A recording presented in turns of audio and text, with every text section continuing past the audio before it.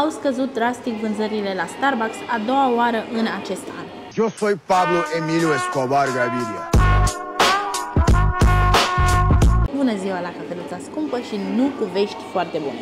Cumpărătorii de la așa zisa cafea de la Starbucks s-au dat înapoi câțiva pași de la cheltuieli extra și de la cafea de specialitate cu 4-5 nume. Salut! Dacă vrei o carieră de barista, am vești bune. Fiindcă vânzările lanțului de cafenele au scăzut la nivel global cu 3% în al doilea semestru consecutiv, semn că oamenii cheltuiesc mai cu băgare de seamă și își dau cu bună dimineața la cafeluță, fie acasă, fie la birou. Și eu m-am săturat să o zic, dar inflația e de vină.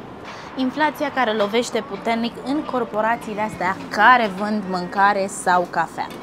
Pentru că nu doar cafeluța de la Starbucks a fost afectată, ci și burgerii de la McDonald's. Că vă ziceam eu zilele trecute despre inflația de la Mac și fiecare se gândește la ceva cu care să crească vânzările.